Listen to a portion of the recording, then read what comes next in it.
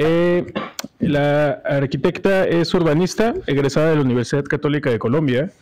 Eh, es, maestra, eh, es maestra por la UNAM en el campo de análisis de la teoría de la historia, experta del SDSN México, en la iniciativa de las Naciones Unidas para observar y colaborar en la Agenda 2030.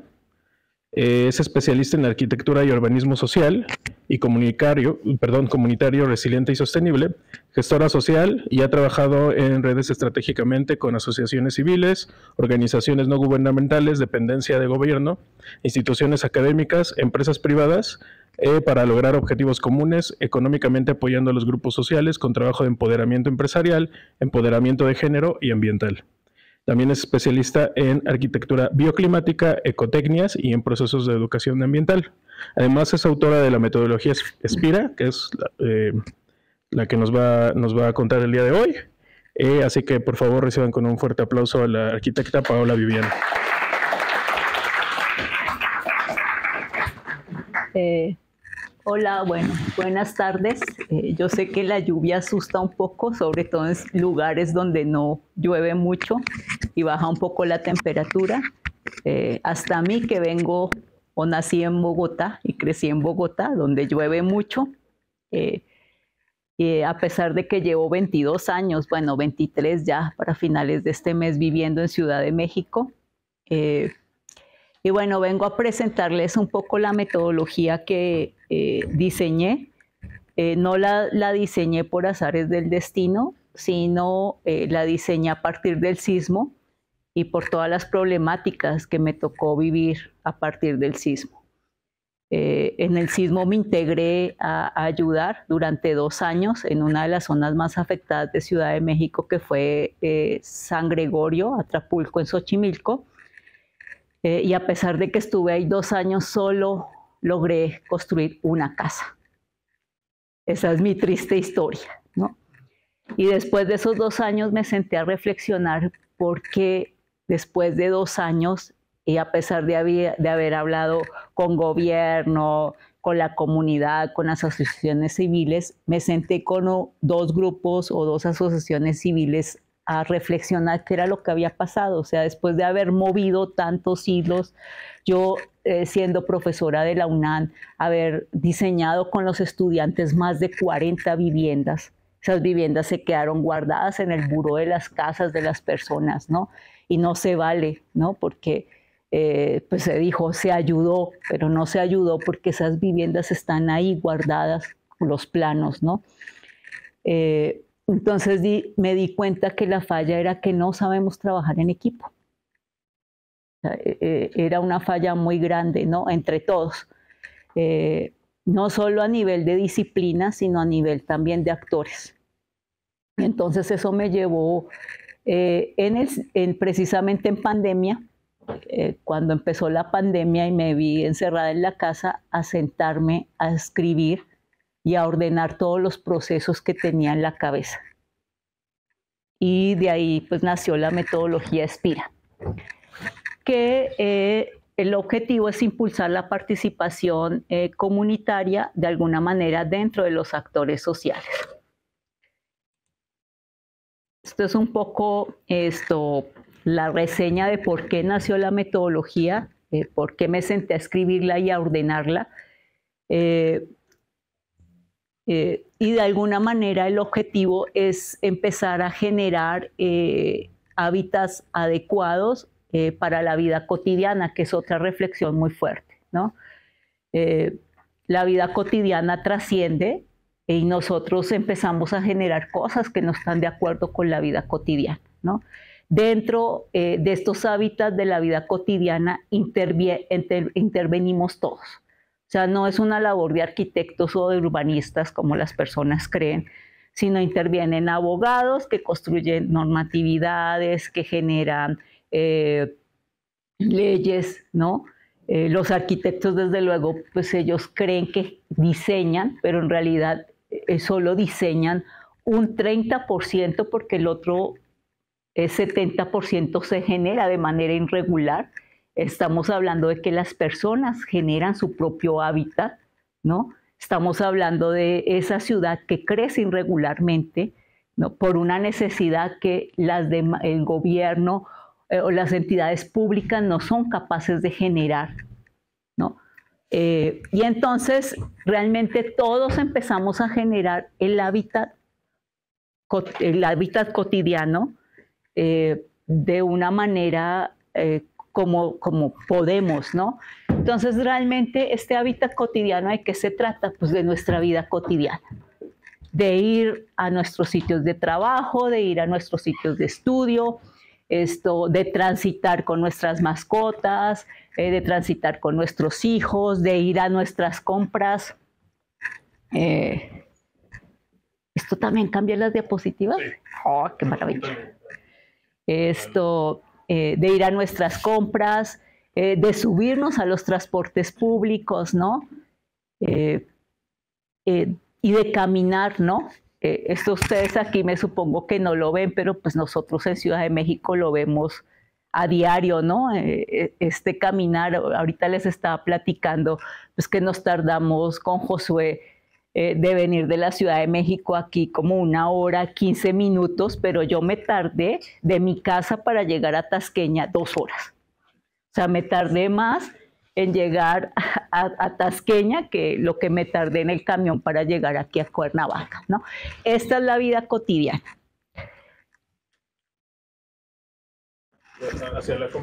Pero espera que creo que tengo que darle aquí continuar para que identifique el...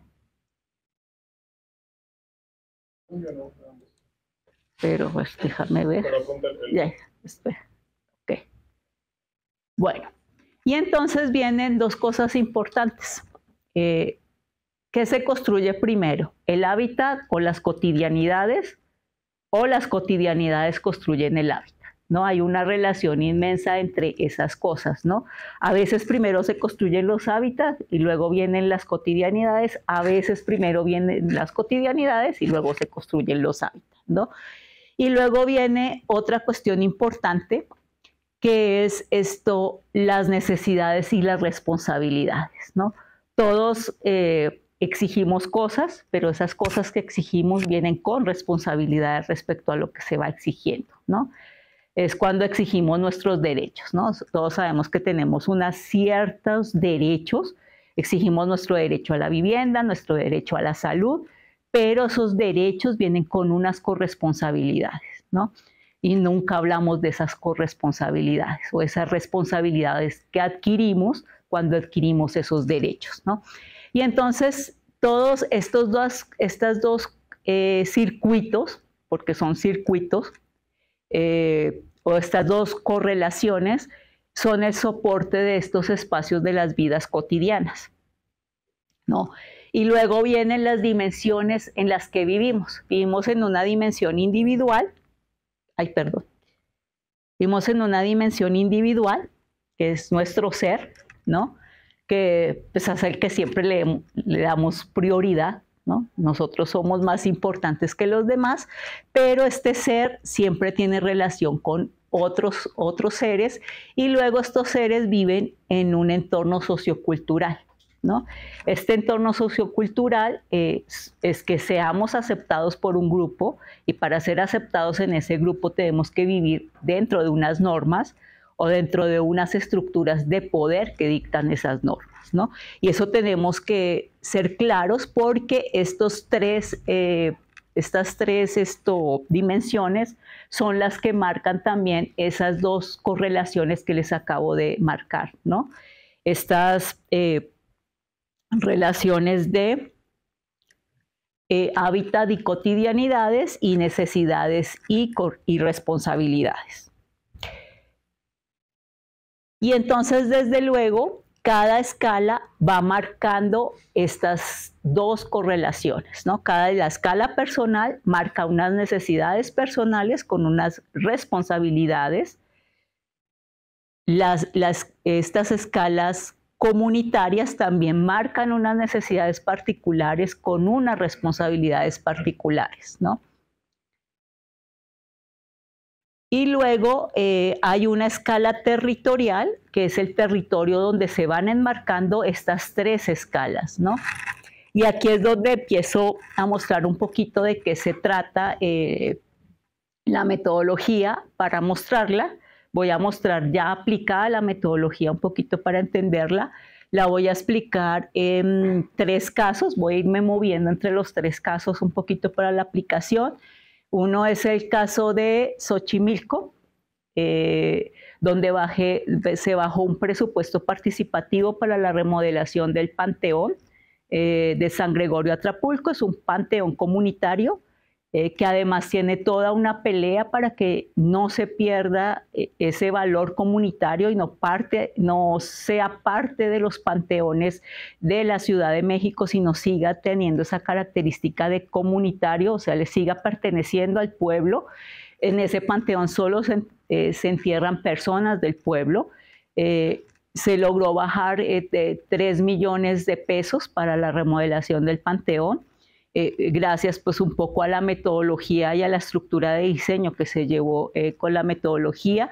El segundo caso es, eh, mm, se hizo un diseño participativo para el Parque La Sauceda en, el, en, el, estado de Sonora, eh, y el tercer caso es en Atizapán, eh, de Zaragoza, eh, que ahorita este es el primer parque que se hace con diseño participativo, con la metodología, y pues ahorita me acaban de dar una coordinación gracias pues a, la implementación de la participación comunitaria. ¿no? Eh, un poco, pues lo que les platicaba, la metodología se trata un poco de empezar a unir a todos los actores eh, para el trabajo en conjunto. Siempre va a haber un líder entre los actores que es el que busca, eh, digamos, el objetivo en particular. Ese líder a veces es la comunidad, por ejemplo, en el caso de Xochimilco fue esto, la comunidad la que lideró el proyecto. En el caso de Sonora fue el Estado, en el caso de Atizapán fue el municipio, ¿no? siempre va a haber un líder y ese líder va a ser el que convoca a todos los demás actores, ¿no? Pero la idea es empezar a tejer redes. Sea, la idea es que todos empiecen a trabajar por un objetivo en común, ¿no? Eh, y la metodología un poco lo que, de lo que se trata es la producción de este hábitat cotidiano eh, y el mejoramiento eh, a través de herramientas metodológicas que favorezcan la vinculación y fomenten ambientes proactivos, eh, porque de alguna manera el actor que empezó con la iniciativa no tiene que estar ahí siempre, se puede levantar, pero la idea es que la red se quede tejida para que eh, la, el territorio siga o el hábitat se siga mejorando por sí solo. ¿no? Eh, y la idea es que todos los participantes empiecen a trabajar de manera coordinada y activamente desde sus saberes y sus eh, visiones, ¿no? ya sean disciplinares o conocimientos también, porque la comunidad no tiene disciplina, pero sí tiene saberes y esos saberes hay que respetarlos. ¿no? Muchas veces, ahorita veníamos platicando, por ejemplo, de la bajada del agua que existía por una calle, tal vez nosotros no sepamos, pero la comunidad y si le empiezas a rascar con la comunidad, vas a empezar a entender que de pronto había ahí un río hacía muchos años y ese río probablemente alguien nos diga que era un río eh, que existía en épocas de lluvia. Eso no lo vamos a saber las disciplinas, pero sí los saberes de la comunidad pueden empezar a tener esos saberes ya muy antiguos y es importante empezarlos a escuchar. Eh, este trabajo o, lo que está innovando es que es un trabajo corresponsable donde vamos a empezar a, decirles a todos los actores, bueno, estos son los beneficios que vas a obtener, pero para que obtengas estos beneficios vas a tener que hacer esto. Que eso es lo que nos ha faltado a todos, ¿no? O sea, todos venimos y decimos, bueno, quiero mi derecho a la vivienda, ¿no? Pero tú dame el dinero y y pues dame la vivienda ya terminada. ¿no? De eso se tratan las políticas públicas de vivienda, ¿no? O sea, dame la vivienda y, ya, ¿no? Pero resulta que cuando me dan la vivienda yo la vendo, porque pues no me costó nada, ¿no? Cuando hay una corresponsabilidad te dices, bueno, yo te voy a dar este porcentaje, pero te voy a dar este porcentaje hasta que tú reúnas este otro porcentaje o te comprometes a construir. Cuando nos cuestan las cosas, y eso lo sabemos los padres con nuestros hijos, pues las cosas cambian. Entonces, bueno, pues te voy a comprar los tenis, pero tú también encárgate de conseguir el 20% de los tenis o el 30% de los tenis, ¿no? Entonces ya las cosas empiezan a cambiar. Esa es la corresponsabilidad que se empieza a manejar, ¿no?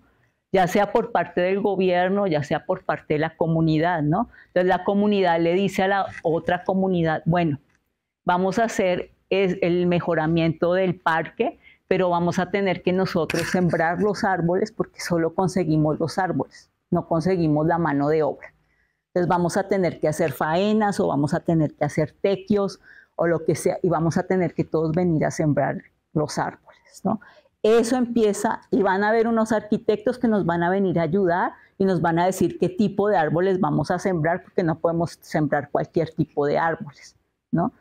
Esto, pero los árboles los sembramos nosotros y ellos van a decirnos cómo lo sembramos, entonces vamos a obtener un beneficio, vamos a mejorar el parque, pero vamos a aprender a sembrar correctamente un árbol para que nosotros lo podamos hacer en la casa. Eso ya genera un clic de que ese árbol que sembramos lo vamos a defender con nuestra vida. O sea, cada vez que alguien vaya a tirar una basurita, oye, recógele, porque es que ese árbol me costó sembrarlo, me quemé, todo el domingo ahí sembrándolo, ¿no? Eso genera un cambio, ¿no? El trabajo pluriactoral que van a estar presentes muchos actores, ¿no? Probablemente el arquitecto del paisaje o los arquitectos del paisaje que hicieron el proyecto de restauración de las áreas verdes, el gobierno que donó los árboles, ¿no? Y que además estuvo ahí con los policías y que además de pronto fue el que dio la comida o las aguas mientras sembraban, las personas que sembraron los árboles y participaron en la faena, ¿no? El trabajo transdisciplinar, ¿no? Eh, entre las que las señoras que sabían cómo sembrar árboles estuvieron ayudando y los técnicos y demás, ¿no? El objetivo, desde luego, es esto, empezar a satisfacer las necesidades cotidianas, y empezar a crear ciudades adecuadas, eh, como lo marca la ONU, eh, ONU Habitat en el 2017. No, ¿por qué se llama Espira? Porque cuando yo me puse a reflexionar, eh, esto había que de alguna manera tomar algo que me permitiera también generar recursos porque esto no suena muy bonito, pero pues, se necesita dinero. Y hay que generar recursos de alguna manera. Y entonces se me ocurrió que una manera de generar recursos era poder agarrarse de algo que estuviera vigente y que permitiera generar recursos de entidades eh, para... Eh, y una de esas formas era agarrarme de los ODS, los ODS ahorita están vigentes. Entonces, si yo me presentaba al Banco Interamericano, podía decir, bueno, es que mi proyecto tiene o está agarrado de estos objetivos, ¿no? De la Agenda 2030. Y entonces por eso se llama SPIRA, la metodología. Eh, son iniciales, es un acróstico, eh, significa que la metodología es sostenible, ¿no? Es una metodología progresiva porque eh, se supone que si todos los actores trabajan progresivamente, los hábitats van a ir cambiando, va a, a construir hábitats habitables, inclusivos, resilientes y es adaptable que quiere decir que se puede adaptar a cualquier tipo de proyecto, puede ser a vivienda, espacios públicos, y pues ya una vez la utilizaron para una campaña política. Ahorita van a ver cómo se va se va a volver adaptable, ¿no? Eh, y eh, tiene estas particularidades, ¿no? Siempre la metodología va a marcar unos ejes, ahorita pues tiene los ejes del acróstico de, de Spira, pero cada proyecto en particular va a tener unos ejes que se van marcando, ese es el primer paso, hay que generar unos ejes claves que son transversales a cada uno de los proyectos. Luego tiene unas etapas, estas etapas son inmovibles, digamos, que es una etapa de vinculación, una etapa eh, de diagnóstico participativo, de diseño participativo y la última es una etapa de laboratorio. Esta etapa de laboratorio es donde ya se construyen o se hacen los proyectos. Llámese proyecto de espacio público, llámese proyecto de vivienda, llámese la campaña política como tal, ¿no? Depende del proyecto que se esté construyendo. Y por último, tiene estas tres dimensiones. La primera dimensión es la participación de todos. La segunda dimensión es el contexto, el territorio donde estemos trabajando. Y la última son los recursos que estamos utilizando, porque sin recursos no se hace nada, ¿no? O sea, podemos tener en el papel todo muy bonito, pero si no hay recursos, y a recursos no me refiero solo a dinero, recursos estoy hablando de recursos humanos, estos recursos en la parte administrativa, recursos y ahora sí también recursos financieros, ¿no? El primer paso que vamos a, definir, como vieron, es la primera parte que estaba en, ahorita en la, en la tablita que les mostré, son los ejes de acción. Estos ejes siempre por para ser obligatorio, tienen que ser obligatorios, tienen que estar ligados a los ODS de la Agenda 2030, ¿no? Porque eso es lo que nos va a generar de alguna manera también esa posibilidad de generar los recursos económicos, ¿no? Entonces hay que empezar a generar o ligarlos a la Agenda 2030. Entonces todos nos tenemos que volver expertos en los ODS. Son 17 ODS, pero esos 17 Así son fáciles de recitar, pero resulta que cada ODS tiene subobjetivos, ¿no? No quiere decir que ustedes vayan, ay, mi, el objetivo número uno, ¿no? Mi, ciudades, esto, eh, ciudades resilientes, ¿no? No. Ese subobjetivo tiene como 10 subobjetivos, ¿no? Entonces nos tenemos que echar el volado de manejar que son a la final terminan siendo como 127, 121, exactamente no sé el número, pero tiene que estar ligado y todos se ligan entre sí. O sea, van así, ¿no? Van como ligados y de pronto el primero se liga con el número 100, ¿no? Entonces toca empezar a hacer como el mapa mental de cómo, cuáles son los que vamos a utilizar y cómo se van a ligar entre ellos. Eh, digamos que, por ejemplo, para este caso, el de Sonora, se eligieron dos, cuatro, seis ejes en particular. El primero, y bueno, hicimos ahí todo un diseño gráfico que tenía que ver con eh, la parte prehispánica de Sonora, eh, de sus grupos, que no, no, son un solo grupo, aunque solo identifiquen un grupo en el imaginario colectivo de México, pero son varios grupos. Esto, el primero tenía que ser, era calidad de vida, el segundo era paisaje, identidad, regeneración. Esta regeneración, desde luego, nos hablaba de muchas partes de regeneración, no solo del paisaje, sino de regeneración eh, humana, eh, de regeneración de vegetación, de regeneración eh, del mismo paisaje del parque dentro de Hermosillo, ¿no? Funcionalidad y cotidianidad. Cotidianidad era un eje muy importante porque esto, Hermosillo sufre de cambios de temperatura fuertes durante el día y durante las temporadas. O sea, amanece con una temperatura donde puede salir y luego al mediodía nadie puede estar afuera en la calle. Entonces, eh, el elemento cotidianidad se vuelve un elemento fuertísimo, no es la temperatura de aquí que todo el día puedes estar, bueno, sales y sientes el sol y dices, ay, qué sol tan horrible, pero les aseguro que en Hermosillo el sol no está horrible. El sol es que no puedes estar en la calle, tienes que estar dentro de un estado, dentro de un espacio cubierto, ¿no?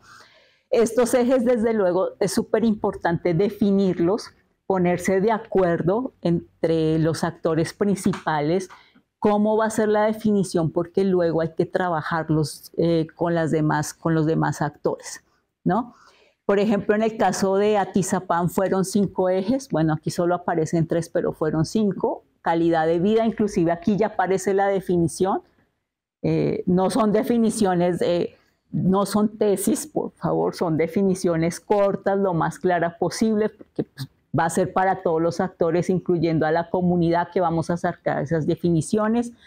Eh, ahorita les explico en las etapas de vinculación, eh, la alineación del lenguaje se vuelve un elemento muy importante. Eh, el segundo eje era inclusión, cotidianidad. El tercer eje era CISIS, era identidad. Y el último era sostenibilidad. Inclusive, esto se volvió muy importante en la base o se vuelve un acróstico importante para el manejo de las bases de datos. Por ejemplo, aquí la base de datos en Anatizapan se llamó SISIS, ¿no? y así quedó toda la base de datos. El formulario SISIS, esto, eh, ¿no? Eh, así ya, ya empiezas hasta, hasta piensas desde el principio cómo se va a manejar todo, ¿no? Los mapeos se vuelven eh, SISIS, ¿no? Eh, aquí estamos viendo la base de datos. Eh, ahorita van a ver o les voy a explicar un poco aquí. No les pude poner el, la extensión que anda en internet porque es base de gobierno. ¿no? Entonces tuve que quitarles la extensión, pero aquí están viendo, digamos, eh, cada una de las pestañas es cada uno de los ejes, cómo se armó.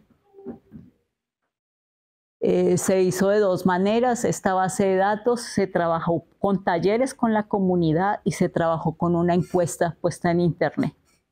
Participaron 480 personas entre los talleres y la encuesta. ¿no? Entonces los datos pues, pues fueron bastantes. ¿no? Eh, estos pues, fueron algunos de los resultados que salieron de la base de datos, ya de todos los datos que se reunieron. Eh, y aquí pues viene la segunda parte, ya después de, eh, esto, definir los, los ejes. Digamos que esta es la parte más importante, la definición de ejes. Luego viene la segunda parte que son la vinculación. La vinculación tiene dos partes importantes. Una es la generación de corresponsabilidades. Aquí es donde le hacemos llegar el mensaje de, mira, estos son los beneficios, pero estos van a ser tus responsabilidades, ¿no? Eh, sin que se lea así como obligación, ¿no? O sea, es muy importante el mensaje, ¿no? De que no se lea como tu obligación va a ser esta, sino mira, ¿no? Y la segunda es la alineación del lenguaje. Aquí va, viene esta parte de la alineación del lenguaje. Esto es un poco la manera en cómo se trabaja el taller, ¿no? O sea, ¿qué esperas que haga, eh, por ejemplo, esta, esta parte era de, eh, de, los talleres de Xochimilco, ¿no? ¿Qué esperas que haga la alcaldía? Pero eh, tú, ¿qué vas a hacer por el lugar donde vives? ¿no? O de la rehabilitación de los parques de la alcaldía, ¿qué esperas? Pero tú, ¿qué estás dispuesto a hacer por esos parques de la alcaldía? ¿no? Eh, ¿Qué esperas de la rehabilitación de un parque en particular y qué estás dispuesto a hacer por este parque? ¿no? O este, por ejemplo, era el de Sonora, ¿no? ¿Qué has hecho hasta hoy y cómo has contribuido por el parque de la Sauceda? ¿Alguna vez has ido a recoger basura? ¿Alguna vez has ido a sembrar árboles? ¿Alguna vez has ido eh, no sé, a, limpiar o hacer algún taller allí para que ambiente con el medio con la Secretaría del Medio Ambiente para enseñar a los niños a cuidar el parque, ¿no? Eh, cómo has contribuido con las estancias públicas, ¿no?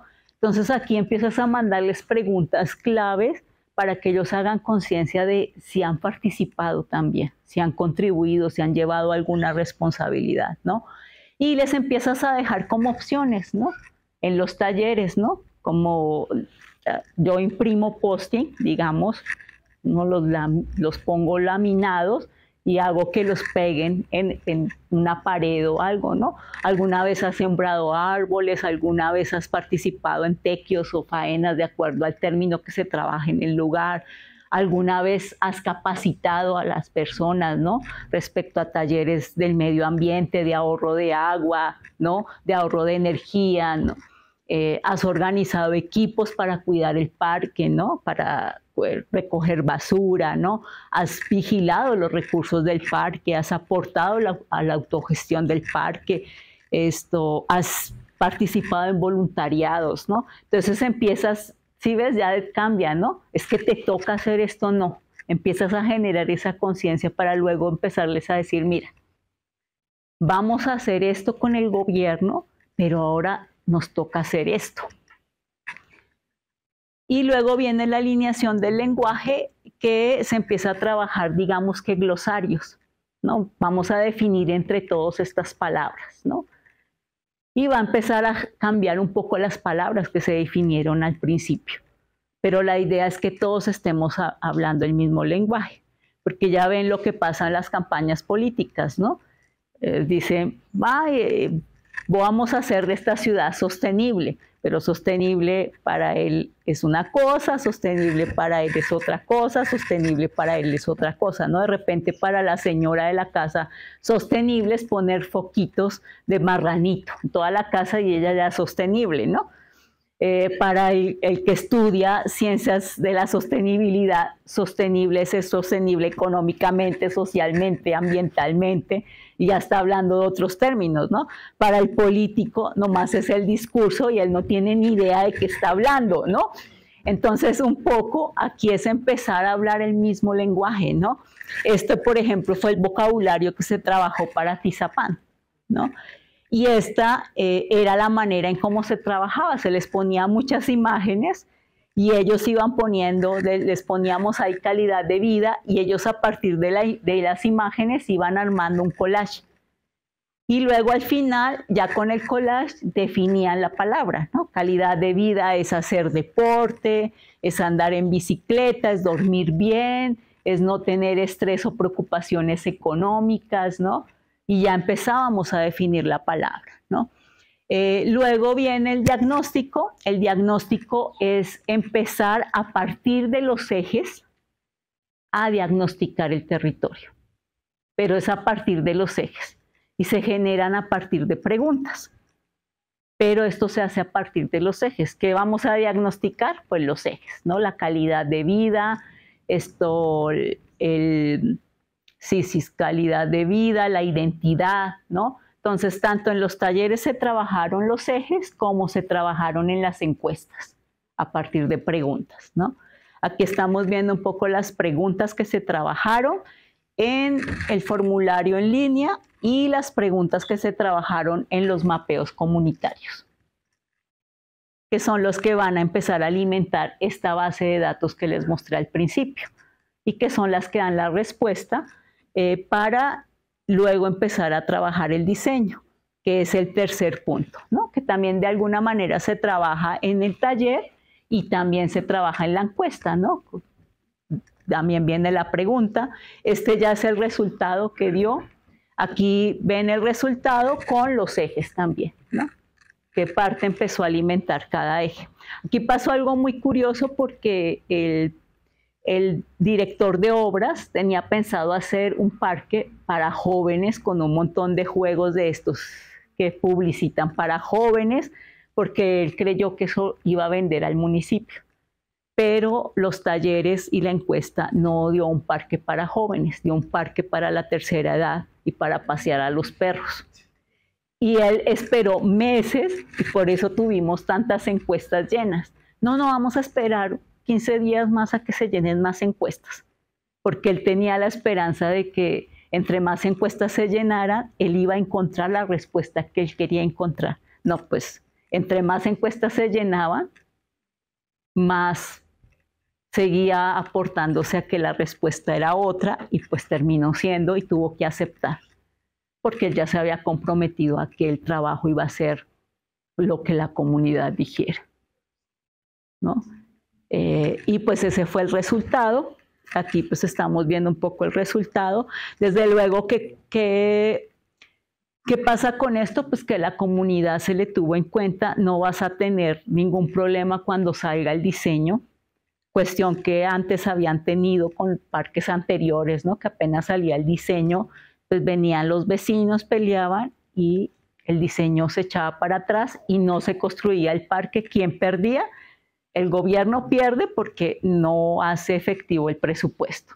La comunidad pierde porque a la final nunca se construyó el parque, ¿no? Y entonces a la final todos pierden, ¿no? Pierde también esto eh, los que van a vender los materiales, la constructora que iba a ganar el concurso, no se reactiva la economía, o sea, a la final todos los actores terminan perdiendo, ¿no? Aquí pues de alguna manera ya este proyecto va a empezar en un mes a construirse. Ahorita están en el concurso de quién va a hacer la construcción del parque. Eh, y también en eso va a participar la comunidad, o sea, va a estar presente dentro del proceso de quién va a construir el parque, ¿no? para que se haga de manera limpia la selección de la constructora y demás. Bueno, y gracias a este proyecto, pues ahora existe una coordinación de eh, concertación social y diseño participativo dentro del municipio de Atizapán. ¿no? Y por último, pues viene esta parte del laboratorio, eh, que además se trata, bueno, este es el proyecto de Xochimilco, el que les acabo de mostrar. Aquí ya intervino, por ejemplo, la UNAM, se hizo con apoyo de los alumnos de la UNAM eh, porque no teníamos a la alcaldía. Este era un concurso que se hace, eh, no sé si saben cómo funcionan los presupuestos participativos, pero de alguna manera las comunidades hacen los proyectos con la misma comunidad y luego los concursan. Y hay votación dentro de la misma comunidad. El que gane es al que la alcaldía le suelta el presupuesto. ¿no? Los presupuestos más o menos están entre un millón y millón doscientos, pero este proyecto fue tan exitoso pues que nos dieron tres millones de pesos. el gobierno de la Ciudad de México pues nos dio muchísimo más de lo que suelen dar, ¿no? Pero este lo hicimos con la comunidad y pues lo hicimos con apoyo de Servicio Social de la Facultad de Arquitectura de la UNAM, eh, utilizando la metodología SPIRA. Eh, y aquí viene la, otra parte, aquí hay un poquito el esquema de cómo fluyen también las responsabilidades y corresponsabilidades dentro de los actores, ¿no? Eh, como, eh, que es muy importante tenerlo claro, ¿no? ¿Qué actor va a hacer cada cosa y cómo empiezan a fluir, ¿no? Aquí a ti te toca hacer esto, a mí me toca hacer esto, yo soy encargado de esto. Aquí pues ya quedó bonito, yo lo tengo en lápiz, pues un disparate de flechas, ¿no? Ya después de pasarlo a limpio. Y esto ya es un poco el laboratorio, aquí eh, también no alcanzaba el dinero para todo, aunque 3 millones suenan muchísimo, 3 millones no son nada en una obra, entonces parte de, de todo lo construyó la comunidad y se decidió enseñarle a la comunidad a hacer, por ejemplo, pavimentos, impermeabilizaciones y lámparas, que también son cosas que pueden servirles en conocimiento para sus casas. Y se hizo con, talleres donde los alumnos les enseñaron eh, a hacer los procesos constructivos. Eh, y luego ellos mismos se elaboraron, aquí están los talleres, ellos mismos elaboraron esto, los pavimentos, aquí los estamos viendo, elaborando los pavimentos en el, en el Panteón. Ellos mismos los diseñaron y los elaboraron. En faenas, allí en Xochimilco se llaman faenas.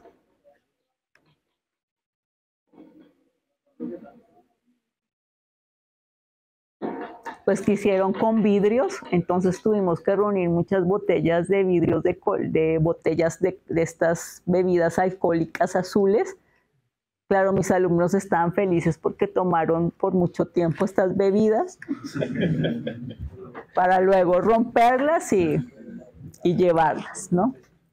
Y pues de conclusión tenemos que esto, eh, de alguna manera, eh, se visualiza el tiempo, el mantenimiento, el desgaste, hay identidad, ¿no? Se genera identidad entre todos los actores, por eso los proyectos se vuelven a largo plazo porque luego además ya dejas la red eh, instaurada y ellos son capaces después de generar más proyectos sin que otra persona los esté supervisando, ¿no? Ya como aprendieron cómo funciona, ellos mismos después se reúnen y, ay, toca hacer las sillas, ¿no? Y ya saben el proceso, cómo funciona, ¿no? Entonces vamos a hacer esto, vamos a hacer aquello. Eh, les dejas una valoración eh, pluriactoral, o sea, tiene una valoración pluriactoral, una pertenencia, un arraigo, empiezas a generar cultura y a rescatar las culturas del lugar hay sostenibilidad económica porque por lo general empiezas a generar trabajo entre ellos, les enseñas también cosas, o sea, aprendes de ellos, pero también ellos aprenden de, todos los que acompañan los procesos, ¿no? Como en el caso de Xochimilco, pues aprendieron a hacer pavimentos, las señoras sobre todo, ¿no? Y impermeabilizantes y lámparas, ¿no? Eh, ya una hasta puso un negocio de lámparas en su casa porque además utilizamos tejas que retiramos del mismo panteón y, empezaron ellas, las, las pintaron y generaron sus propias lámparas y pues empezaron a generar inclusive un negocio, ¿no? Y pues ya si a alguna se le daña el pavimento, tienen que impermeabilizar, ya no va a tener que contratar a nadie que le impermeabilice porque ellas ya saben impermeabilizar, ¿no? Y hay una sostenibilidad social. O sea, estos no son proyectos sostenibles ambientalmente, sino sostenibles eh, socialmente y económicamente. Y pues, eh, chinga, que es esto gracias en, en Muisca. Esto, y eh, estos es el, a la red de expertos que pertenezco, que es del SDC México eh, que es como un brazo de la ONU, son los encargados de que los objetivos de la... Todo este proyecto me llevó a ser experta del SDC en México, que son los encargados de que los objetivos de la Agenda 2030 se cumplan aquí en México. Eh, este es el colectivo eh, que, que fundé a partir de todo esto y pues mis correos electrónicos. Muchas gracias.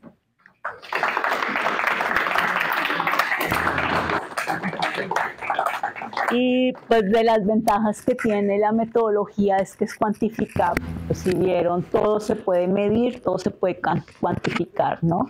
Inclusive a futuro los proyectos se pueden medir por los ejes. O sea, si funcionó en este eje, no funciona en este eje, eh, hay que mejorarlo en este eje, ¿no? Entonces se pueden volver a retomar por los ejes, ¿no? Entonces, eso creo que es lo que SDS en México aplaudió eh, y retomó de la metodología, ¿no? que les pareció muy interesante, que lo hice medible y, ese fue el objetivo principal que me planteé cuando pasó lo del sismo. ¿no?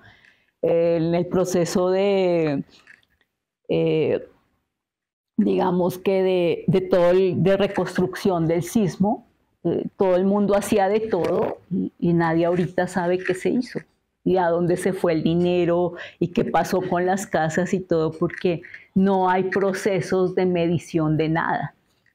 ¿no? Y entonces fue mi, mi mayor objetivo era que todo fuera medible. ¿Tenemos preguntas? Sí, de este lado. Eh, ¿Podría hablar? No, es que estamos grabando. Ah. Sí, adelante. Gracias. Este, en ese sentido, justamente, eh, le quería preguntar, doctora, si para, ya ve que para los ODS, la Agenda 2030, pues hay, eh, hay indicadores, hay criterios, hay índices, ¿no? En el caso de, su metodología, eh, ¿nos podría, por favor, ampliar un poquito la información de, de, por ejemplo, lo que es inclusivo? ¿Cómo, cómo lo medimos? O sea, ¿cómo, si utilizó índices, indicadores o criterios para poder medir qué tan inclusivo era, ¿no? Y, en la parte de, este del la R, la, la R a qué correspondía, perdón? A resiliente. A resiliente, esa también. ¿Cómo? Por ejemplo, lo inclusivo y lo resiliente, ¿cómo lo medimos? ¿Cómo sabemos? que digamos que en, en el nombre solo es el nombre. Realmente cuando tú empiezas a utilizar la metodología, depende de tú cómo definas estos ejes que vas a tomar. La inclusión depende de tú cómo la definas y de los ejes que tú o los ODS que tú retomas.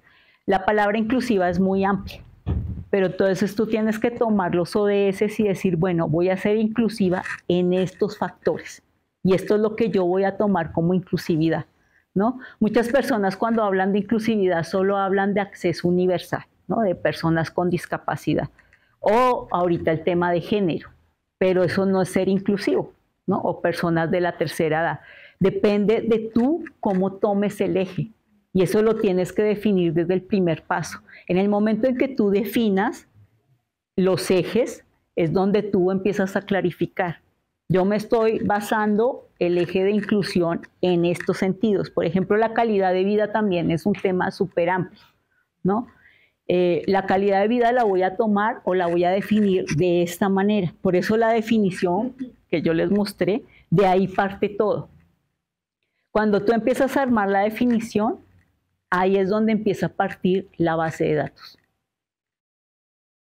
Y cuando empiezas a definir, también empiezas a tomar los objetivos de la Agenda 2030. Mi subobjetivo es este, ¿no? Yo voy a basarme en esto. Entonces tú eres el que define cómo va a ser la inclusión. No es la palabra, es cómo tú la defines. Entonces, eh, digamos que tú puedes retomar inclusión como acceso universal, que para mí es la manera menos adecuada. Pero pues hay muchas personas que le van a eso. ¿Por qué es la manera menos adecuada? Porque solo el 1% de la población tiene discapacidad, ¿no? O género que ahorita pues está tan de boga, ¿no? Pero son cosas de moda. ¿Cuánto va a durar esa parte? ¿Y el parque cuánto va a durar? ¿No? Pero eso depende del giro que tú le quieras dar, ¿no? Entonces, por ejemplo, aquí el, dato de la inclusión era incluir a la población y a lo que ella quisiera. Por eso era tan importante los datos que ellos dieran, ¿no? ¿Y qué pasó? Pues que el dato dio personas de la tercera edad. Y sí, la, ahí sí se volvió un factor importante eh, la discapacidad porque la tercera edad viene con problemas de movilidad. Entonces ahí sí se volvió un dato importante la accesibilidad universal. Entonces sí se llenó el diseño del parque con rampas porque además el terreno donde está el parque tiene un montón de desnivel. Entonces se llenó con rampas porque la población que iba a utilizar el parque eran personas de la tercera edad. ¿No? Entonces ahí ya se volvió un elemento importante, pero lo importante es la definición de los ejes y tú cómo definas el eje para empezar a generar la base de datos. No la palabra, ni lo que tú te imagines de la palabra. Es cómo tú vas a definir la palabra. Gracias. No, si te aclaré la duda es que a veces hablo de más, ¿eh? Yo también tengo una pregunta sobre los indicadores. Bueno, muchas gracias por la presentación. Me parece muy interesante el, todo la metodología y cómo se puede aplicar. Pero tengo duda también sobre los indicadores y pensando en cómo medir los resultados. ¿Cómo se llegan a esos indicadores? Eh, se, ¿Se llegan por medio también de involucrar a la comunidad? O sea, la comunidad también está involucrada en, en determinar estos indicadores, porque hay otras metodologías en las que sí se hace, y si sí se hace así, me gustaría saber cómo, cómo, los, cómo lo hacen, o sea, tienen así como el menú de los ODS y dicen, bueno, hay que tomar estos. No, realmente digamos que eh, en sí, eh, nosotros, por ejemplo, en este, eh, por, ahorita, por ejemplo, en el Panteón, sí la comunidad llevó la batuta. Eh, los, las que dirigen, digamos, el comité del Panteón son mujeres, con ellas definimos los ejes. Entonces nosotros, eh, bueno, en el caso eh, yo y estas mujeres definimos los ejes y definimos las preguntas y lo que íbamos a trabajar, ¿no? En el caso de Sonora, lo trabajé con los arquitectos que iban a llevar el diseño que estaban trabajando para el gobernador eh, de, Sonora. En el caso de Atizapán lo trabajé con el secretario de Obras y su equipo, ¿no? Entonces digamos que siempre he trabajado con el que lleva la batuta y luego ya involucramos a los demás actores, pero ya con los ejes definidos, ¿no? Eh, y ya si ellos se hacen partícipes de todo el proceso. Ya si ven después ellos, con ellos se, alinea se hace alineación del lenguaje, pero ya las preguntas, inclusive la base de datos y todo ya está armada, ¿no? Ellos ya participan en el resto del programa, ¿no? Inclusive, eh, por ejemplo, en Atizapán, eh, que, bueno, en, en San Gregorio, en Xochimilco, me tocó darle todo un curso de inducción a los alumnos que trabajaron con nosotros, que nos hicieron el apoyo para que pudieran llevar los talleres. ¿no? En el caso de, de Atizapán, me tocó darle primero la inducción o el curso al equipo más cercano, a la sobre todo a las cuatro personas que estuvieron siempre generando todo. Primero explicarles la metodología y con ellos ya generé los ejes, ¿no? Eh, y generé la base de datos, generamos la encuesta, ellos ya tenían una encuesta y la encuesta, pues les dije, esta encuesta no sirve, porque ¿para qué hacen esta encuesta si no les va a generar ninguna base de datos? O sea, esto es una encuesta cualquiera, van a reunir 400 encuestas y esta encuesta no les va a servir para diseñar nada. Lo que ustedes necesitan es una encuesta que les genere resultados certeros, que además después se les va a convertir en que si alguien les llega a decir algo, pues aquí están los datos que ustedes mismos dieron, pero unos datos que vayan para alguna parte, ¿no? Volvimos a, les di la inducción, volvimos a reestructurar todo, generamos eh, los ejes y a partir de los ejes generamos las preguntas, inclusive la encuesta viene marcada o, viene el eje, dice calidad de vida, y luego vienen las preguntas. Y viene una explicación de tres renglones del eje, para que las personas sepan también de qué se trata, ¿no? Y al principio de la encuesta dice por qué se hace la encuesta, ¿no? O sea, que son espacios públicos, por qué necesitamos su apoyo y demás. Y luego, cuando se fueron a hacer los talleres, como lo hicimos con personas de la Secretaría de Obras, porque no había más personal, todo el mundo cree que el gobierno pues tiene un montón de recursos, no, en realidad no tiene nada de recursos. Entonces me dijo, no, pues es que el taller los van a hacer pues, los de obras. También me tocó hacerles un curso de inducción y enseñarles a hacer el taller y cómo hacerles las preguntas, que no, no era llegar con las preguntas, y que así tal cual, como si les estuvieran haciendo una encuesta, no, que, eran 10 preguntas base, pero que ellos no tenían que hacer las 10 preguntas, que podían hacer 5 preguntas, 3 preguntas, que era de manera didáctica, el material didáctico que iban a tener a mano, que eran unos stickers que los iban a tener que ir pegando en el mapa, que tenían que ayudar a las personas a pegarlos. O sea, me tocó darles una inducción de un mediodía completo para decirles, mira, y esta pregunta la puedes hacer así, es como conversando, jugando con ellos, ¿no? Cómo iban a estar las mesas distribuidas, en qué lugar íbamos a trabajar, eh, eh, cómo iba a ser el juego con ellos, inclusive iban a haber premios a las personas que pasaran por las 10 mesas, ¿no? Si reunían como un pasaporte donde iban llenando eh, sellitos, o sea, porque el taller no puede hacer así de, ay, no, sino que ellos también se tenían que divertir, ¿no? Entonces, como toda esta inducción se les dio también, y también me tocó explicarles la metodología y de qué se trataba y por qué iban a hacer esas preguntas y para dónde iban esas preguntas, ¿no? Y ahorita en este momento, pues todos supieron lo que hicieron. Porque si no sabes para dónde vas, pues no tiene ningún sentido. Llegas allá y dices, bueno, pues solo voy a hacer estas preguntas y me voy, ¿no? Todos tienen que estar como involucrados, ¿no? Y la verdad, el documento ahorita final eh, quedó un documento muy bonito, que se llama Nuestro Parque, eh, y que tiene un montón de imágenes y tienen todas estas, pero es muy, muy, lo interesante es que desde el principio puedas armar una base de datos y esa base de datos te dé un resultado efectivo. ¿Qué pasaba con el diseño participativo? ¿Qué me pasó a mí en el sismo? Que el diseño participativo era ir a hablar con las personas y preguntarles qué querían, pero realmente todo era así como sin, sin, que fuera cuantitativo, todo era cualitativo, ¿no? A la percepción. Y yo decía, pero esto no es posible, o sea, ¿a qué horas vas a demostrar que en realidad te dijeron eso? que lo puedas medir, que puedas comprobar, o sea, no puede ser posible que siempre cuando se trabaja con la comunidad todo sea así, ¿no? A, lo que yo pueda percibir, a lo que los demás puedan percibir y que no puedas medir nada y que nada sea tangible. Tiene que haber una manera de que las cosas se vuelvan tangibles y medibles, ¿no? Entonces esto realmente eh, es a lo que me llevó a reflexionar y cómo hacer todo medible. Entonces realmente los ejes sí, sí tienen esta, esta como sustancia, ¿no? Sí, sí, me parece interesante porque, bueno, como que a mí me preocupa mucho el que sí venga todo como desde abajo, ¿no? Entonces, había como ciertas partes de la metodología que siento que pueden estar como predisponiendo, sesgando hacia un lugar.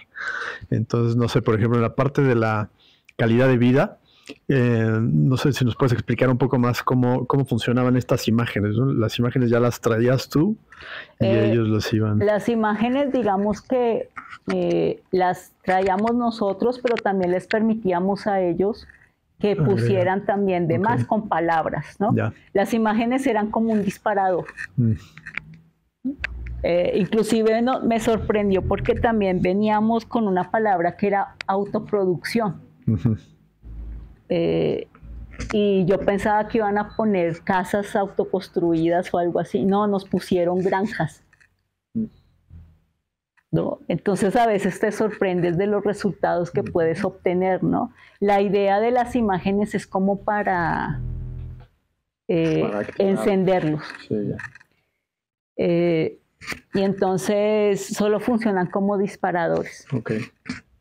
Sí, porque pensaba, bueno, si están limitados a ciertas imágenes, pues... No, porque están las imágenes, pero también pueden utilizar los marcadores y escribir palabras. Y a la final ellos definen.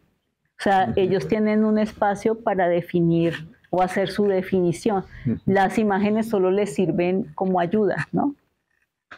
Ok, muy bien, bueno, muchas gracias. Eh, gracias por tu presentación, Paola. Este, mi duda va un poco sobre la cronología de tus proyectos. ¿Cuál fue primero? ¿Cuál es el último? Y si ha habido ajustes o mejoras en cada uno de ellos. Eh, desde, claro que sí. el primer, bueno, ahorita mostré tres. En realidad he hecho con muchos proyectos con la metodología. El primero fue un proyecto de reconstrucción y fue enfocado hacia la vivienda eh, con una encuesta que se llamaba 2030 enfocado hacia, muy particularmente hacia cosas de la vivienda, con eso sí, con los ejes que venían de la, del, Espira, o sea, con las iniciales del Espira, bajo esos ejes. Eh, y sí, sí ha mejorado. O sea, cada vez que la hago, pues viene una retroalimentación, ¿no? Ahorita creo que está como en un punto muy lindo porque ya ha pasado por, por mucho por muchas mejoras, ¿no? Eh, y, pero la primera, pues, eh, fue todo eh, de pegarse contra las paredes y decir, bueno, al principio no había base de datos. O sea, al principio hacíamos la encuesta y trabajábamos con las personas y les ayudamos a buscar sus créditos y todo. Y, luego dije, bueno, pues, ¿qué hacemos con estas encuestas? ¿no? Y fue cuando generamos la primera base de datos. Con un economista las generé, ¿no? Eh, ya el segundo proyecto fue también de vivienda y ya generamos la primera base de datos. Y ya empezamos a decir, bueno, es que estas casas, mira tantas casas que, que tienen estos problemas respecto a su piso, respecto a su sistema hidráulico. Entonces empezamos a, a detectar que las bases de datos eran muy útiles. Y luego lo de los ejes no los no, todavía no nos caía lo de los ejes, lo de los ejes surgió ya a partir del proyecto de Xochimilco. O sea, sí se ha ido afinando a partir de la experiencia. Eh, yo creo que uno nunca debe dejar de progresar las cosas a partir de las experiencias es muy importante la reflexión a partir de las experiencias. Ok, otra pregunta, este, si bien entiendo tu trabajo es como orquestadora, ¿no? De, de toda esta, del diseño y de toda esta metodología, es decir, trabajas eh, individualmente o en equipo, Y realmente, ¿cuál es tu intervención en los proyectos? Es como mi duda un poco no me queda todavía. Sí, he sido como siempre gestora y siempre intervengo en todos los proyectos, al 100. O sea, siempre estoy ahí. Y en todos he, he intervenido en todas las fases del proyecto, desde que inicia el proyecto hasta que se termina el proyecto. No, son mis hijos. O sea, estoy desde que se conciben hasta que, hasta que está el parto. Y, siguen después, porque luego voy y los visito, porque no sé, hay que estar en el crecimiento también, no los puedo abandonar. Ahorita tengo que ir a medir qué fue lo que pasó con los ejes, lo que te digo, ¿no? O sea, hay que ir siguiendo para ver en qué eje faltó, porque pues, es el proceso también, ¿no? Si no, no tendría gracia de que se generara todo esto. Hay que ver después de la, del nacimiento qué pasa con los hijos. Todavía no ha llegado esa etapa porque pues todo esto es muy reciente, ¿no? Pero pues va a tocar hacer el seguimiento y evaluar también qué fue que, lo que pasó con los ejes.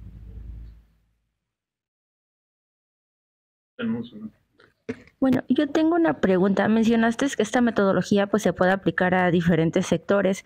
Me surgió la duda en la parte educativa, por ejemplo, si se puede aplicar para mejoras de los espacios universitarios, por ejemplo, aquí tenemos la universidad, al menos aquí en el centro se ha incentivado, se motiva a los chicos a que participen por tener un poco más sustentable el espacio, sobre todo esta parte de reforestación, ¿no? Este, pero igual no es como la participación y no es un problema único de aquí, sino puede ser de toda la universidad. No sé si lo has aplicado en alguna institución educativa o planes a futuros o si se podría. Pues no lo he aplicado en ninguna institución educativa, te digo que lo he aplicado para vivienda, eh, no solo en reconstrucción, sino también para programas de vivienda, sobre todo de mujeres, me ha tocado, en, en programas de frontera con Infonavit. Lo he aplicado mucho para espacios públicos, que es de lo que me ha tocado últimamente, eh, y para una campaña política que fue algo así como que me hicieron el planteamiento y yo dije, pues hagámoslo y definimos los ejes y todo y funcionó súper bien, ¿no? ¿Puedes saber de quién?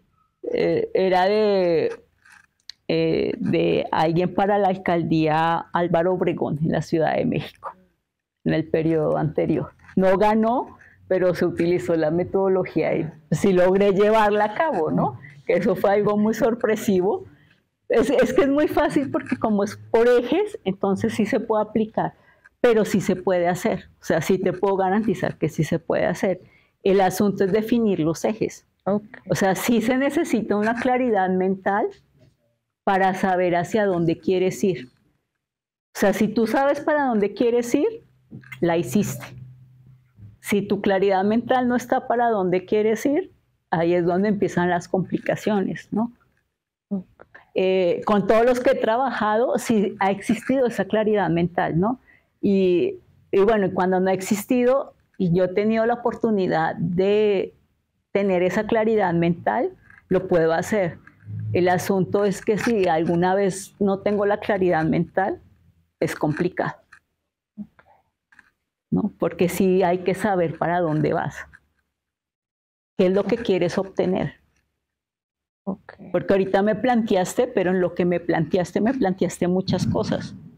Entonces está complicado el asunto. Necesitas claridad en lo que quieres, quieres hacer, ¿no? O sea, la parte ambiental es bastante amplia pero no sé qué quieras lograr, ¿no? Si quieras lograr una reforestación, o por ejemplo, cuando tuvimos la reunión virtual hablaban del agua, pero el tema del agua también es súper amplio. Entonces tienes que enfocarte muy bien en lo que quieres lograr. Ok, más definido entonces. Como lo que hablábamos, la inclusión es un tema muy amplio, tienes que enfocarte en lo que quieres lograr respecto a la inclusión o respecto eh, a la calidad de vida, el tema de la calidad de vida también es muy amplio, tienes que enfocarte súper bien para poder, o sea, no puedes lograr todo en un solo proyecto. Okay. Tienes que enfocarte bien en lo que quieres lograr y si te enfocas bien en eso, lo vas a lograr. Está bien. ¿Alguien más que tenga una participación, pregunta, comentario? ¿O me permito yo tener? Bueno. Eh, bueno, primeramente agradecerte, Paola, gracias por venir, por el esfuerzo que nos costó en llegar.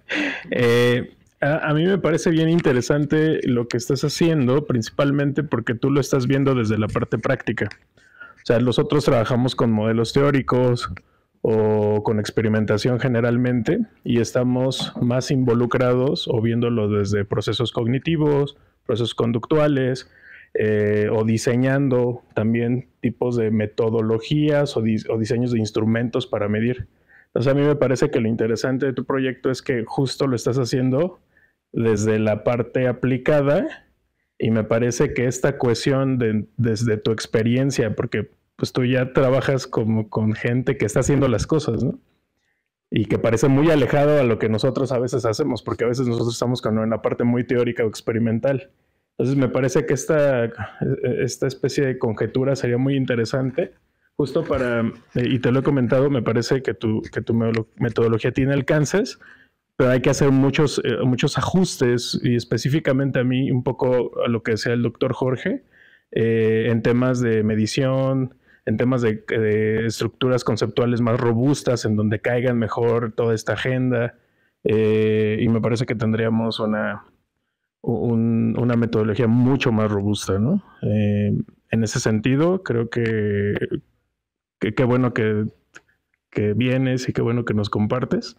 Justo del otro lado, ¿no? O sea, nosotros no tenemos la experiencia de trabajar con gobiernos y de, supongo que debe ser muy difícil tener al jefe aquí, el que quiere resultados, al que quiere gastarse un presupuesto, eh, lo hemos platicado de manera personal, pero a todo el colectivo, ¿no? Que si el arquitecto no quiere, que si el jefe de obra ya se enojó, que si, o sea, vaya, lo que tú estás haciendo sí es ponerle orden a algo que es muy caótico y que regularmente no piensa en esta otra parte, ¿no? De, tener un algo que nos permita tener robustez, métodos, datos, etcétera. Entonces te agradezco mucho. Esto, sin embargo, digamos que como yo tengo también este perfil académico, esto no salió tampoco así de nomás de la experiencia, o sea, sí de alguna, de alguna manera también viene cargada de esta parte académica, ¿no? Yo siempre he dicho que la academia y, la parte profesional tienen que ir mezcladas, ¿no?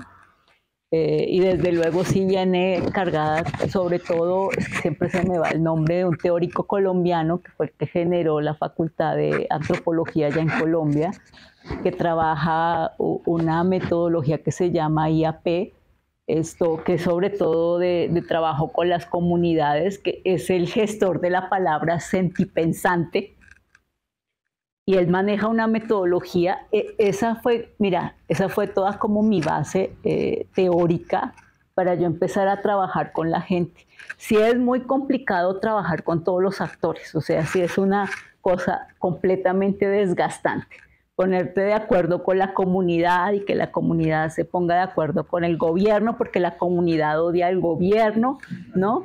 O sea, si los odian y entonces yo no quiero hablar con el gobierno, entonces tienes que decirle, oye, mira, es que el gobierno es el que tiene algo de dinero.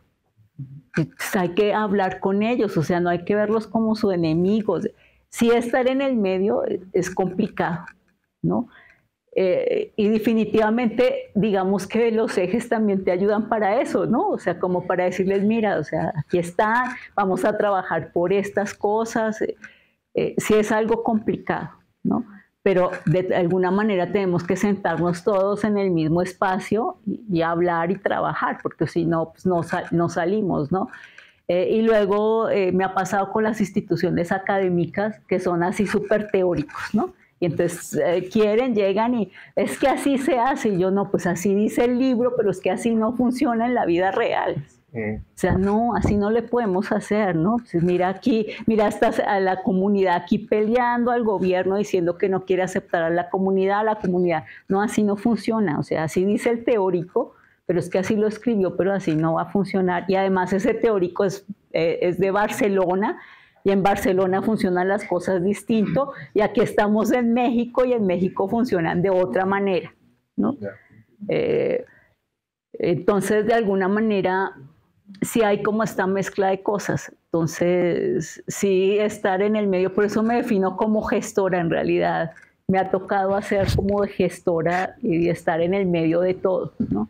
Por eso tampoco puedes dejar el trabajo abandonado porque si te vas, eh, todo como que se viene abajo. Ahí tienes que estar en el medio de, de todo, ¿no? Y hablar bonito con todos y negociar con todos, ¿no? Volverte el centro de, de todos, ¿no? Y que todos como que puedan fluir. Es una cuestión de energías. Todo fluya con energías ahí. Ahora ya tenemos una pregunta. Disculpe, ¿cómo en ese caso entra con la comunidad rompiendo con eso de cultura? O sea, ¿cómo es que se adapta a ellos para poder entrar y que la acepten también? O sea, que acepten ese apoyo por parte de ustedes. Entonces, este, ¿de qué manera lo hace? Porque pues también la comunidad a veces no tiene, no se presta el tiempo para, para esas cosas, entonces. Bueno, en Xochimilco entré desde la comunidad y más bien fui a buscar desde la comunidad a los demás, ¿no? En Atizapán, que entré, por ejemplo, desde gobierno, eh, siempre vas con la bandera de decirles, mira, o sea, sí estoy trabajando desde gobierno, pero es que yo estoy con ellos, pero no vengo con lo que ellos quieren, sino con lo que ustedes quieren. Y siempre tienes que ser su oído. O sea, estás, con, estás trabajando con ellos, trabaja, trabaja para ellos, pero no son ellos. Y eso es lo que tienes que hacerle entender a las personas. O sea, y es muy importante ser el psicólogo de todos. Eh, es que te vuelves el psicólogo. O sea, Siempre, por ejemplo, yo a mis alumnos eh, de arquitectura les digo que un buen arquitecto es el psicólogo del hábitat. ¿No? O sea, tienes que volverte el psicólogo de los a los que les estás construyendo su hábitat. O sea, tú no estás construyendo para ti ni diseñando para ti. Eso es un problema que tenemos muchos los arquitectos. Creemos que estamos construyendo para nosotros. No, no es para nosotros. Y a mí me pasó mucho tiempo. Cada vez que le diseñaba una casa a alguien, diseñaba la casa de mis sueños, pero no era para mí la casa. Y, es difícil salirse de ese papel y volverse el psicoanalista de la otra persona.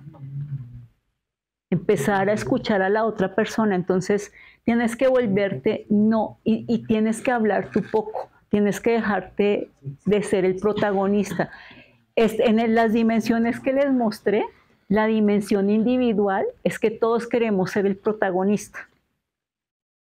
Algo muy importante es dejar de ser el protagonista. Cuando tú dejas de ser el protagonista, todo el mundo empieza a venirte a contar las cosas. Yo odio que me digan arquitecta. Entonces, cuando la comunidad se acerca y me dice arquitecta, digo, no, o sea, soy Paola, porque simplemente soy una ciudadana del mundo. En Xochimilco nadie me dice arquitecta, porque en el sismo les decía, cuando empieza a construir casas, por favor dígame arquitecta, o sea, llevo aquí un año y no he podido construir una casa, o sea, ya no me digan arquitecta, por favor. Ustedes me dicen arquitecta y no merezco que me llamen arquitecta. No lo merezco. Dígame, Paola. Y por lo general siempre me presento como Paola, jamás me presento como arquitecta. Y eso como que les quita una barrera con las personas. Cuando tú llegas y les dices, soy la arquitecta, soy la maestra o soy la doctora, ya estás poniendo como una barrera. Cuando te hagas y te presentas, ah, mira, soy Paola y vengo aquí porque quiero escucharlos, vamos a hacer el proyecto, ya les quitas una barrera. Y entonces empiezan a darte quejas. Es que el gobierno ya vinieron y no sé qué, solo los escuchas. O sea, no les vas a decir, no, yo vengo a solucionarles la vida tampoco porque no hay que prometer como político, ¿no? solo los escuchas y dices, bueno, ahorita ya vamos a trabajar un taller a ver si podemos llegar a una solución para pero nada más, o sea, ni, ni les da la razón a los unos ni a los otros, solo los escuchas y los dejas que se desahoguen la hora completa. Que es que ya vinieron y no nos hicieron y no sé qué, y aquí hay un grupo, porque además también los vecinos se pelean, ¿no? Y el otro grupo de vecinos que no sé qué, que vino, los escuchas ahí todo el rato. Si son señoras, por ejemplo, la tercera edad, les agarran la mano, que sientan que tú les das confianza, tú les puedes agarrar la mano, señora, y no, no está cansada, vamos a sentarnos aquí en las bancas, o sea, todo eso como que les das, les empiezas a dar cierta confianza, ¿no? Y cómo se llama y no sé qué, y luego te empiezan a contar la historia de la colonia y tú los escuchas. Y, señora, mira, los voy a llevar a esta mesa, que es la mesa histórica, para que le cuente, está muy interesante lo que me está contando, allá le van a resolver, o sea, pero los dejas hablar, tienes que ser psicólogo. Tengo espíritu de psicólogo. Muy bien, pues si no tenemos ninguna otra pregunta, vamos a dar. Ah, sí, tenemos otra pregunta. Levanten la mano. Ah, yo le pregunto que, o sea, por ejemplo, usted dijo que hacía preguntas como cerradas, por lo mismo de que no fueran cualitativas y fueran cuantitativas. Eh, hay dos tipos de preguntas, trabajo las dos tipos de preguntas. Mm, pero al momento de determinar como que en su propio estudio de, o sea, para que pueda obtener resultados para proyectos posteriores, por así decirlo, este, ¿cómo es que al final realmente obtiene un, proyectos y se supone que usted mencionó que la mayoría de personas como que buscan ser protagonistas y entonces cómo es que llegan de cierta forma a tener eh, como una idea ya final en donde el gobierno y las personas sí estén conformes. Esto, porque digamos, por ejemplo, en esta base de datos de, de Atizapán, eh, la encuesta que se hizo virtual, desde luego, tienen que ser preguntas muy cerradas, ¿no? Porque, y habían como tres preguntas abiertas, ¿no? Pero la mayoría de preguntas, y en los talleres que son mapeos comunitarios, son preguntas más abiertas, pero igual también se pueden cuantificar, ¿no? O sea, ya, pero son preguntas más abiertas donde le das la oportunidad a las personas que ellos hablen un poco más y cuenten más historias porque estás ahí de frente con ellos, ¿no? Y tú igual estás llevando el registro y grabando todo, ¿no? Eh, y en las encuestas que se hacen en Internet sí son preguntas un poco más cerradas. Pero igual también puedes medir los mapeos comunitarios porque también van lanzando datos, ¿no? son estas calles, son aquellas, hay, eh, eh, los robos son de este tipo, ¿no? Son a mano armada o son con violencia sin armas, o sea, todo, pero te van platicando de mala historia, ¿no? O sea, ya, ya empiezas a reunir otro tipo de información.